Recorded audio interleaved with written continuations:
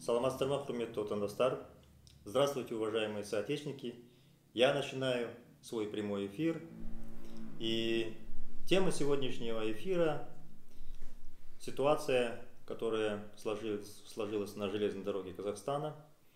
Мы все в курсе, что в воскресенье а, около станции Чу а, произошла авария. А, существуют разные версии, почему эта авария произошла. Сначала официальные власти сообщили в средствах массовой информации, что с рельс сошло 8 вагонов, затем 3. И, собственно, пока мы не слышали результаты работы комиссии, которая бы сказала причину этой аварии. И в первые дни тоже ничего не сообщали о жертвах, говорили, что есть пострадавшие. Мы все видели репортажи с мест, люди снимали события на свои мобильные телефоны. И, собственно, сам характер аварии показывает, что жертвы точно должны были быть, и людей, которые травмы получили, тоже достаточно много. Но буквально в тот же день сообщили, что в результате аварии погиб один подросток. Но вот сегодня мне из Казахстана сообщают, что на селекторном совещании говорят уже о шести погибших. А, важно то, что уже прошло три дня с момента аварии, и власти страны до сих пор не сообщают количество пострадавших и жертв.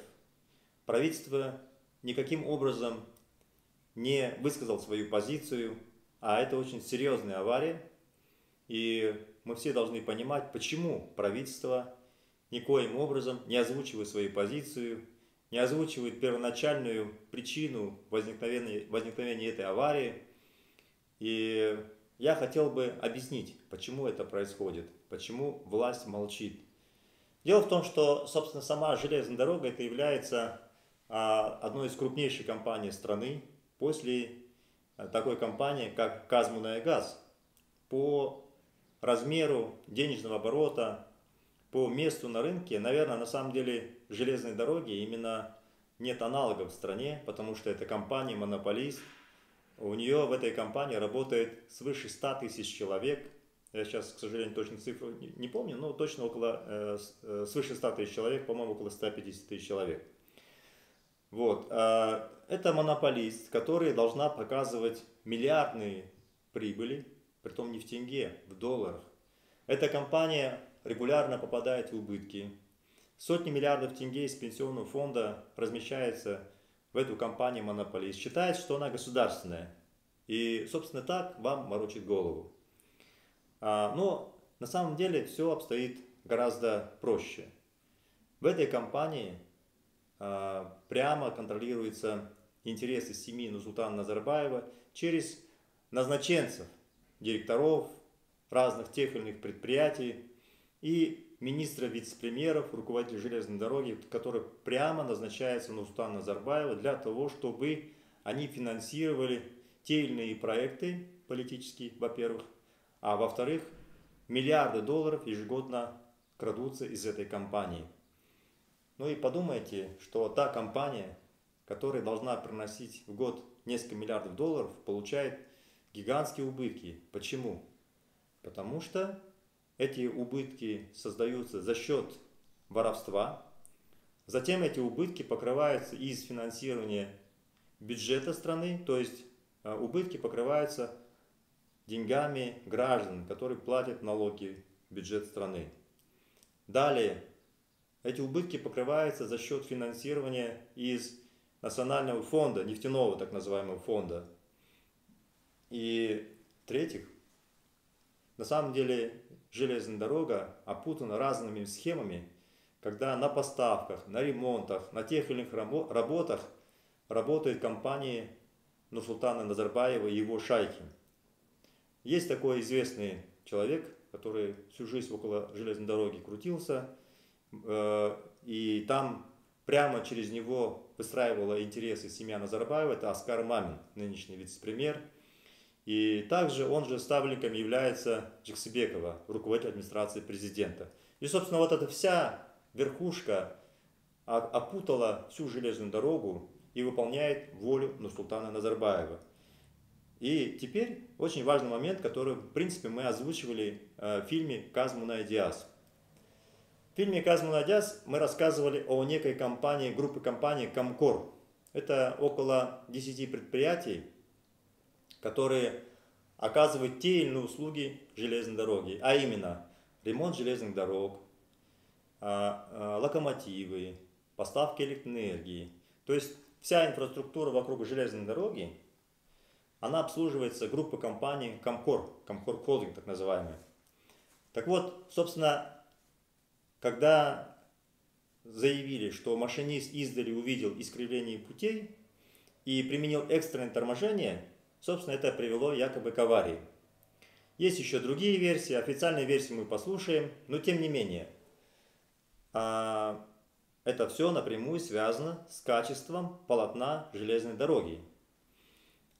Кто вообще занимается ремонтом железнодорожных путей, их строительством, их ремонтом?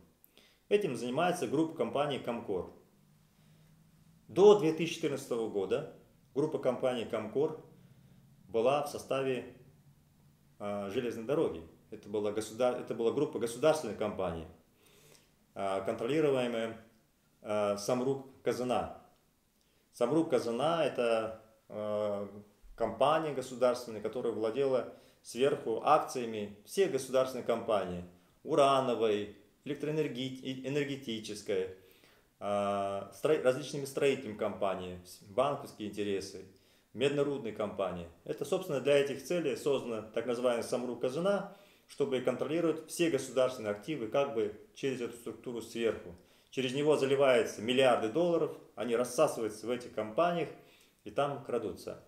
Когда я говорю, что каждый год банковской системе пропадает минимум 10 миллиардов долларов, а известно, что 10 миллиардов долларов – они уходят именно в банки Нурсултана Назарбаева.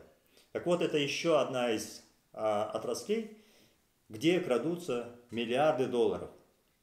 В фильме «Казман Адяс» мы рассказываем о Диасе Сулейменеве, который вместе с Тимуром Кулебаевым, они э, выстроили схему и приватизировали, так, так сказать, можно если назвать приватизировали, компанию э, Комкор, группы компаний. В 2014 году через некого Якова Цхая, который находится в списке 50 богатейших людей страны, и прошу обратить внимание, что вы не найдете его фотографии в стране, нигде. Ни в интернете, ни в Forbes, нигде. Там вместо фотографии стоит такая рамочка с непонятным, даже, даже изображений там нет. Так вот, этот человек, который входит в список 50 богатейших людей, Яков Цхай, оказывается, стал собственником группы компаний Комкор.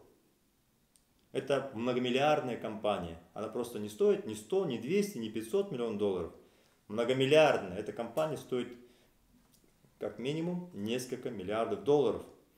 Это группа компаний, которая формировалась по мере развития железной дороги десятки лет. Не просто она была построена, группа компаний ЗАГА, ЗАДОВА, Именно десятки лет по мере развития железной дороги строились, а, собственно, сами дороги, это полотно, это специальные укладочные машины, это локомотивы, это энергоснабжение. То есть там функций у группы компаний Комкор много. То есть представьте, что Комкор в сторону отойдет, и железная дорога рухнет, потому что некому будет обходить пути, некому будет ремонтировать, некому будет строить железную дорогу, некому будет поставлять электрическую энергию и так далее. Все эти активы ушли в группу компании Комкор. На фальшивом тендере в 2014 году вот этот товарищ, некий Якиц, Яков Цхай, совершенно неизвестная личность, приобретает за сумму чуть более 50 миллионов долларов активы, которые стоят как минимум несколько миллиардов долларов. Затем эта компания просто перепродает эти активы Тимуру Кулебаеву. То есть это такая продуманная сделка, чтобы Тимур Кулебаев не сразу заявлялся, а через подставное лицо. Затем всеми этими активами начинает владеть компания Кипрос. Это общеизвестная компания, можно зайти в Google, найти компанию Кипрос, зарегистрированная на острове, э, известном офшорном Кипр. Вот. И в итоге конечным собственником стала компания «Кипрос», компания Тимура Кулебаева. И многомиллиардные активы государственной железной дороги просто перебежали в карманы семьи Назарбаева, в частности, конечного собственника формального а, Тимура Кулебаева. И вот представьте себе, когда железнодорожники мне пишут, говорят, что мы получаем 100 или 150 тысяч тенге, кто-то 60 тысяч тенге, они не знают, кому адресовать свои вопросы. Они не очень ясно понимают, кто собственником является группы компании «Комкор». Собственником группы компании «Комкор» является зять Султана Назарбаева Тимур Кулебаев вместе со своей женой Динарой Кулебаевой. Это я даю информацию. Вот теперь, собственно, в воскресенье произошла авария. И в своем посте я написал, что очевидно, что любая комиссия, которая там пройдет, сошлется на какие-то обстоятельства непредвиденные, ну, в крайнем случае назначит виновником какого-то стрелочника. Но сами железнодорожники, вы можете почитать комментарии, что они пишут. Они говорят, что нет необходимого количества работников, они экономят. Не поставляется качественное оборудование, не выполняется в нужном объеме работы. То есть все как бы экономится на зарплатах, на всем, на материалах. Для чего? Для того, чтобы извлечь максимальную прибыль. То есть фактически это прибыль по разным схемам затем выгоняется за рубеж. То есть вы платите за транзит, за перевозку грузов железной дороги. Вы считаете, что вы платите государственной компании – на самом деле основные доходы растекаются через такие подставные структуры Тимура Кулебаева, который опутал государственную железную дорогу разными своими щупальцами и более того выкупил по условной цене те активы, которые стоят как минимум несколько миллиардов долларов через подставных людей. Вот, собственно, когда сейчас будут озвучены имена тех, кто пострадал в результате этой аварии будут озвучены имена тех, кто погиб в результате этого случая, а это не является несчастным случаем. Это планомерные действия по ограблению железной дороги, это коррупция. И эта коррупция приводит к тому, что гибнут люди. Многие из вас говорите, шукур талга, и все, давайте ждать, вот мы этого имеем, этого достаточно. Но, к сожалению, наша жизнь зависит от тех действий, которые совершает политическая верхушка во главе с Нурсултаном Назарбаевым. Буквально несколько дней назад мы получили итоги того, что эта преступная власть совершает в отношении своего народа. А именно кража многомиллиардных государственных активов, затем плохое им, его управление, потому что только реальный собственник, который собрал серьезные средства, который затем хочет их вернуть, отрабатывает, он думает над всем, он работает тщательно. А эти мажорики, э, которые просто захватили активы, все, что они делают, они воруют государственные средства, воруют деньги народа, а затем их прогуливают. Я предлагаю вам еще раз внимательно посмотреть на фильм «Казмуна Диас», где в одном из сюжетов показано, как деньги крадутся не только с государственной железной дороги, но в первую очередь крадутся деньги государственной нефтяной компании «Казмунайгаз». И именно за счет денег «Казмунайгаза» Динара Кулебаева провела свой день рождения и за один вечер сожгла 80 миллионов долларов США. Этих денег, 80 миллионов долларов США, хватило бы, чтобы выплачивать пособие для студентов, 100 тысячам студентам в течение одного года они могли снимать себе жилье. Вдумайтесь, они за один вечер сожгли 80 миллионов долларов, а этих денег хватило бы, чтобы 100 тысяч студентов снимали себе жилье в течение года учебы. Вот, собственно, куда уходят деньги. Вот, собственно, почему происходят аварии.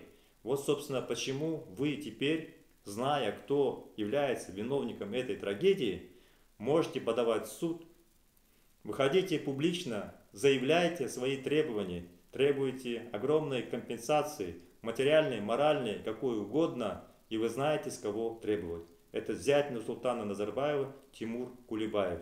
Я в эти дни еще раз опубликую информацию о группе компании Комкор. Вы можете посмотреть фильм «Казмуна Диас», и там в расследовании подробно, детально рассказывается, что все мои слова подтверждены документально, а именно, как проходил тендер, кто овладел группой компаний Комкор Холдинг, что за люди подписывали документы, какой денежный оборот, какие функции у этой группы Комкор Холдинг, и вы поймете, что та авария, которая произошла в воскресенье, причиной является именно грабеж со стороны семьи Нусултана Назарбаева. И вы тогда можете опираться на эти документы и подавать судебные иски. Теперь следующая тема, которую я хотел обсудить, это митинг 23 июня по всему Казахстану. Я хочу отметить, что за всю историю независимости Казахстана, независимость я, наверное, скажу в кавычках, потому что это независимость семьи султана Назарбаева от всех, в первую очередь от народа Казахстана.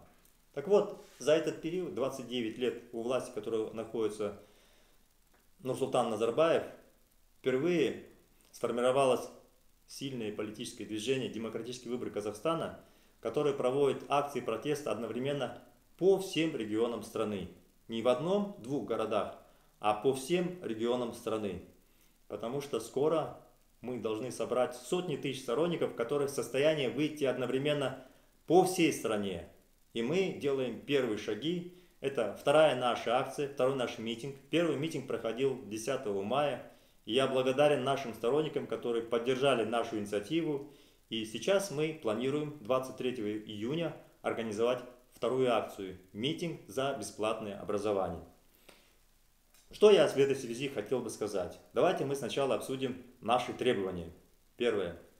Наши требования, чтобы молодежь могла получить бесплатно высшее и среднее специальное образование. Что для этого нужно? Для этого нужно государству выделить дополнительно 500 миллионов долларов США сверх того, что сейчас выделяется на финансирование вопросов образования. Наши расчеты показывают, что если правительство выделяет дополнительно 500 миллионов долларов, наши студенты, наша молодежь в состоянии бесплатно обучаться. При этом эти средства пойдут не только в государственные учебные учреждения – но и в частные. То есть гранты будут выделяться в те или иные учебные заведения, куда хотят пойти учиться студенты. И частному учебному заведению или государственному без разницы, кто заплатил деньги. А платить будет государство. Тогда вся наша молодежь будет в состоянии учиться в высших и средних специальных учебных заведениях, потому что эти проблемы решит государство. Сейчас ваши родители оплачивают в зависимости от учебного заведения, от 500 тысяч тенге до суммы свыше миллиона тенге. Как я уже неоднократно говорил, если ваши родители получают заработную плату около 100 тысяч тенге, то учиться вам высших учебных и средних специальных заведениях просто становится крайне сложно. А если у ваших родителей, студентов не один, а два, а если три, то это вообще без шансов. Кто-то из вас скажет, что да, можно учиться бесплатно, получить гранты, не валяй дурака, что называется. Хорошо, давайте мы рассмотрим этот случай.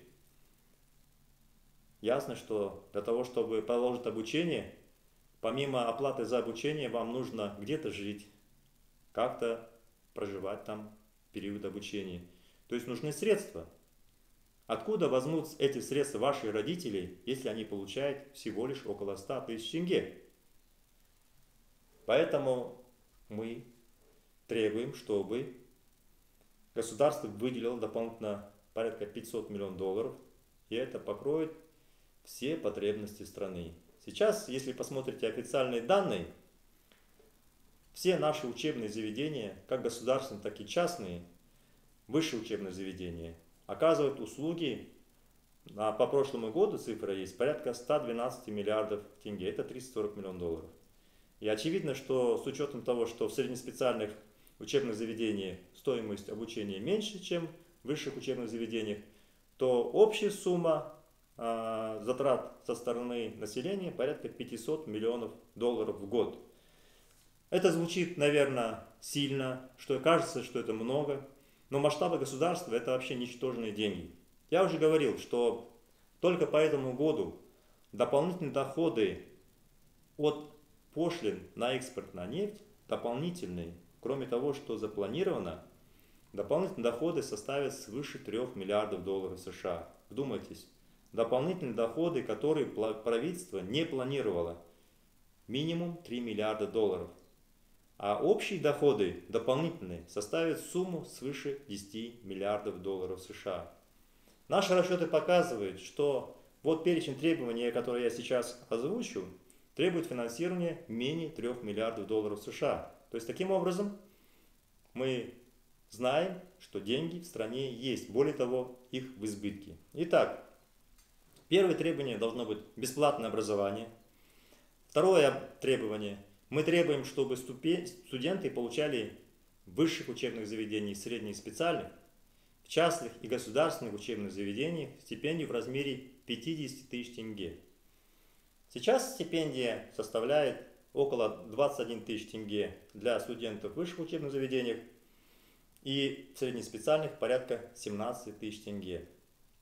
Эта сумма 50 тысяч тенге, она тоже незначительная, но позволяет как-то студентам держаться на плаву и, скажем так, не просить дополнительной помощи у своих родителей, которые и так получают ничтожные средства на своей работе.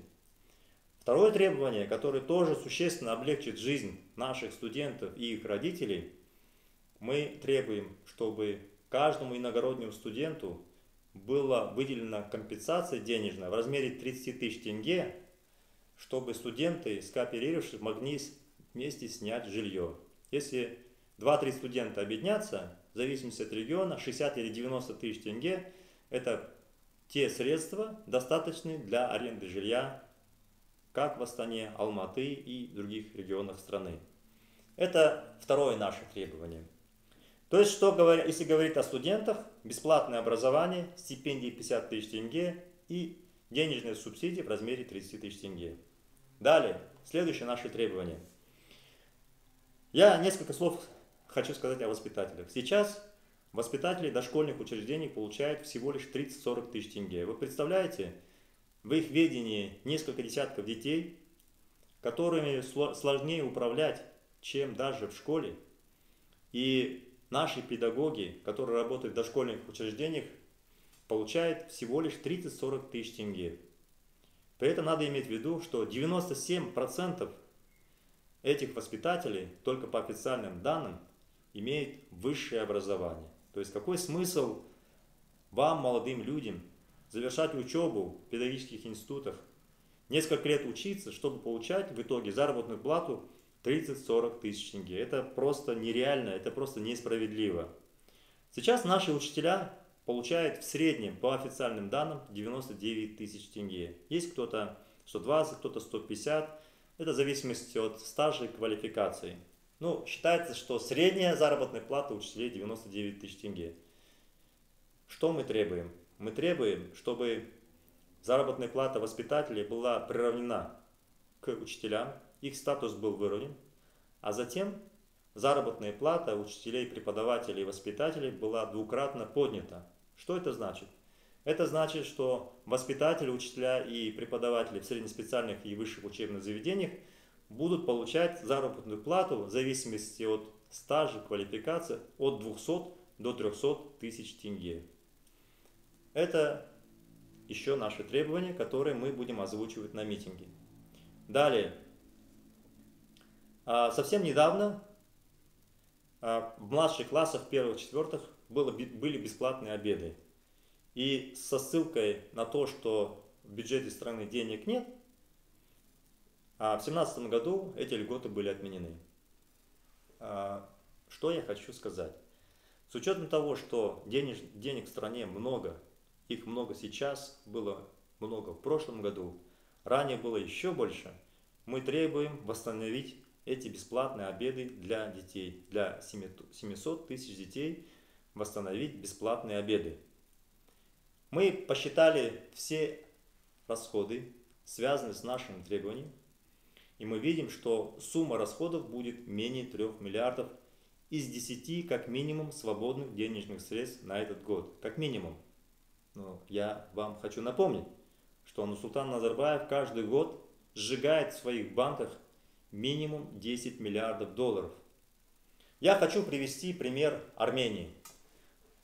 Когда к власти пришел демократический руководитель Никола Пашинян, когда сотни тысяч граждан Армении вышли на улицы, на улицы Еревана, власть произошла, она ушла, и смена власти произошла мирным путем. Именно мирным путем. Те, кто из вас этому не верит, смотрите, что произошло в Армении. Смотрите, что произошло в Грузии. Именно в результате мирных акций протеста сотен тысяч людей произошла смена правительства. В Армении просто произошла смена режима. И сейчас вы можете наблюдать за тем, что происходит в Армении. Жизнь людей меняется стремительно. Сейчас идут аресты тех людей, которые участвовали в коррупционных схемах. Вот буквально несколько дней назад арестовали генерал-лейтенанта, который воровал огромные средства у солдат, держал дома гранатометы, различные оружие и все прочее, крал гуманитарную помощь со стороны европейских государств и кормил животных, леопардов и все прочее у себя во дворе. И сейчас борьба с коррупцией идет быстрыми темпами. Там же нынешняя власть предъявляет обвинения тем полицейским, которые воевали против своего народа, боролись против мирных акций, которые проходили в Армении. У нас будет так же. Я хочу заверить вас, что никто не будет подавлять свой народ, если действительно народ выйдет на улицы города с мирными требованиями, выйдет на акции протеста, когда будут выходить сотни тысяч, не сто человек, не 500, не тысяча, сотни тысяч. Поэтому, когда меня спрашивают, насколько реально, чтобы эти требования были выполнены со стороны Нусултана Назарбаева, я говорю, они реальные. И пример рядом с вами, на ваших глазах, пример Армении, когда буквально за две недели в результате мирных акций протеста, мирных, военные перешли на сторону народа, полиция перешла на сторону народа, и у армян сейчас не просто появилась надежда, у армян начались реформы буквально сейчас, буквально немедленно. И у нас тоже так же будет. Сейчас власть, опасаясь митинга 23 июня, придумывает просто удивительные вещи, которые вызывают и улыбку, и смех, и просто смотришь на них и поражаешься.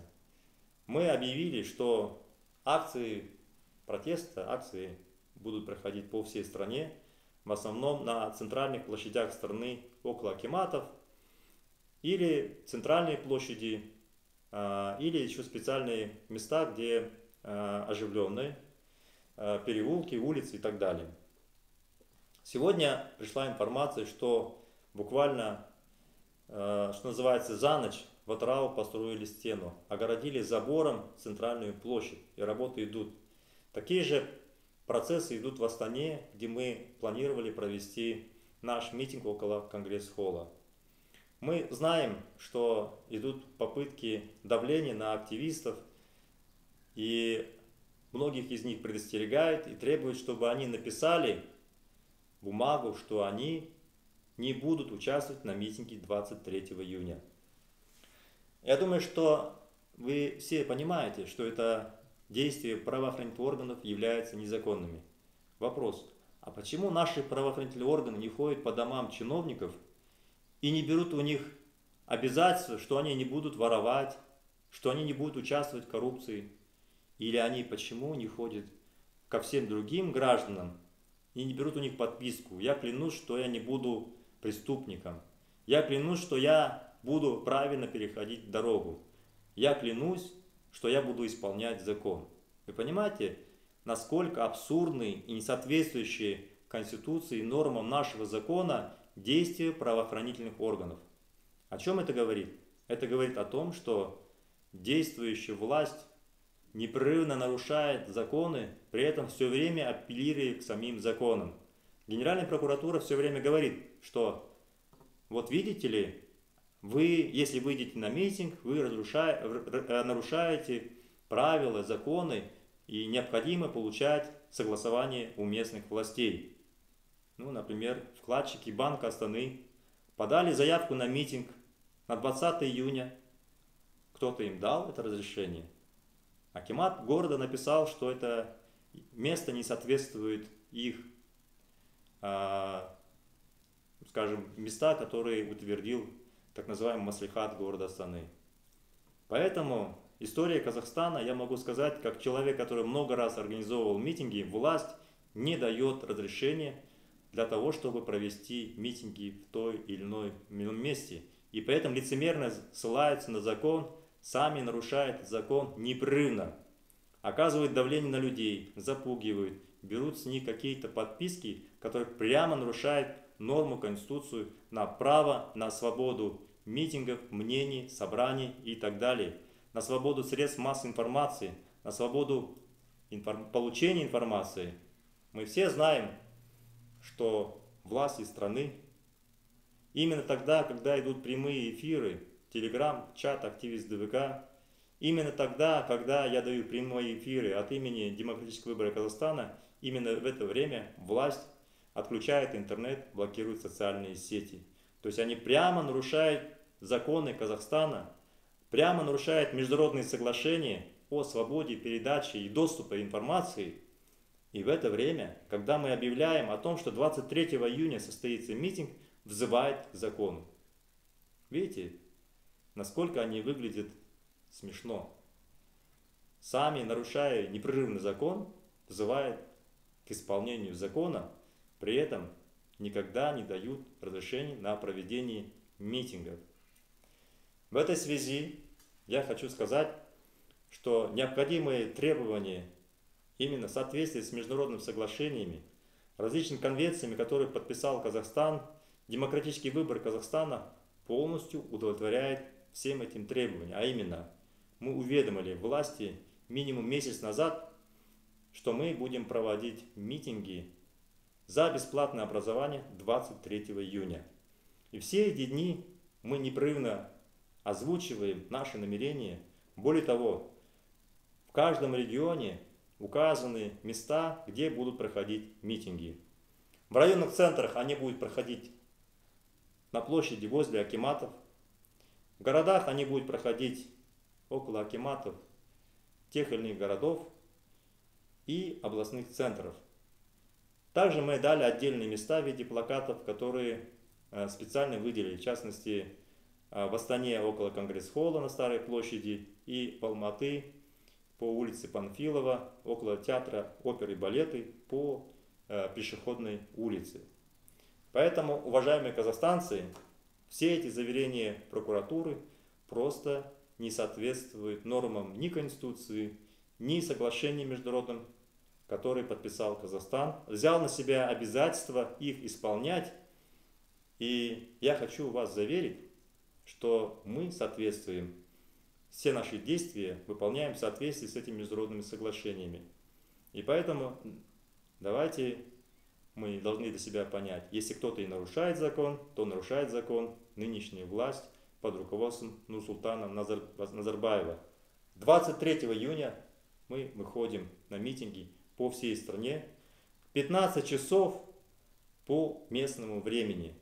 15 часов по местному времени я делаю акцент, потому что сдвинутое время на один час в ряде регионов страны, как Ахтубе, Уральск, Атрау, Мангистау, часовая разница. Поэтому эти регионы тоже проводят свои митинги 15 часов по своему времени. На сегодня я свой эфир завершаю. Сау до встречи в эфире завтра. Я буду выходить сейчас ежедневно.